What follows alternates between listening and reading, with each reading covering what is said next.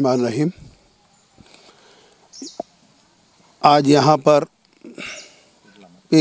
पीरा मरी जो पीरा से वाबस्ता है ये हमारे काफ़ी अरसे से जमाल हुसैनी चिश्ती रहमतुल्लाह अलैह और कमाल हुसैनी चिश्ती रहमतुल्लाह अलैह। और ऐसे दो बुज़ुर्ग है जो अल्लाह ताला इनको यहाँ महबूब नगर के पास भेजा और ये अल्लाह यहाँ पर काफ़ी अरसे से दराज से छिल्ला किए और यहाँ रहे। और यहाँ के आज आखिरी चारशुम्बा जिसको कहते हैं कि आखिरी चारशुम्बा के माने क्या है? जिस, जिसके बीमारियाँ हो, जो भी है, अल्लाह के रसूल भी उस वक्त ज़माने में हरियाली पे खुंदलते हुए दुआ की थी कि जिस जिस लोग बीमार हैं, उनको शफाए कुल्ली अता फरमा। और आज हम भी यही दुआ करते हैं कि मेरे आक़ाए नाम सरवर कौन अलैहि वसल्लम के बताए रास्ते पे कि आखिरी चारशुम्बे के दिन जो भी यहाँ पे ज़राइन आए हैं, अल्लाह ताला उनको सेहत कामिला अता फरमा।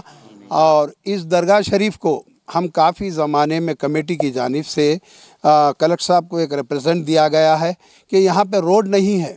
क्योंकि सबका में, हमारे बचपन में, बीच के इससे रास्ते से हम आते थे। आज रास्ता पूरा आकुपाई कर दिए हैं टूरिज़म डिपार्टमेंट वाले। बड़ा अफसोस का मुकाम है। इस दरगाह का ये अहाता, ये पूरी रकबा दरगाह का है अराज़ी तो हम हुकूमत का हम साथ देते हैं और श्रीनिवास गौड़ साहब से भी हम रिप्रेजेंट किए हैं मिनिस्टर साहब से, कि यहाँ के रास्ता, एक रोड कम से कम तीस फीट की रोड चाहिए और यहाँ के डेवलपमेंट के लिए कुछ फंड चाहिए।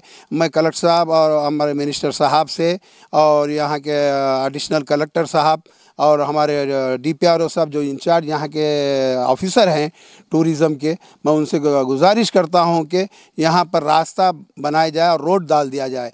क्योंकि ये पीरामरी आज से नहीं है, ज़माने से, ख़दीम ज़माने से चलते हुए आ रहा है और तेलंगाना हुकूमत एक सेकुलर हुकूमत है के सी आर साहब की। लिहाजा मैं के सी आर साहब से भी अपील करता हूँ कि यहाँ पर जल्द से जल्द आप डेवलपमेंट करें और हमारे सीनाज गौड़ साहब जो मिनिस्टर है, काफ़ी महबूब नगर में तरक्की काम किए हैं। ये दरगाह में उन्होंने भी कई दफ़ा आ चुके हैं। लिहाजा इस दरगाह को डेवलपमेंट करें तो बहुत बेहतर रहेगा।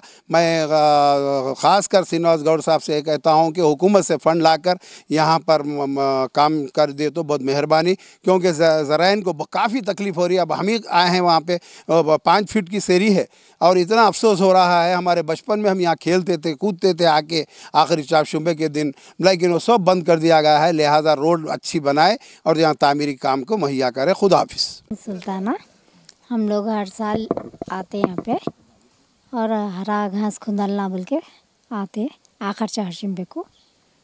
नया ब्रिज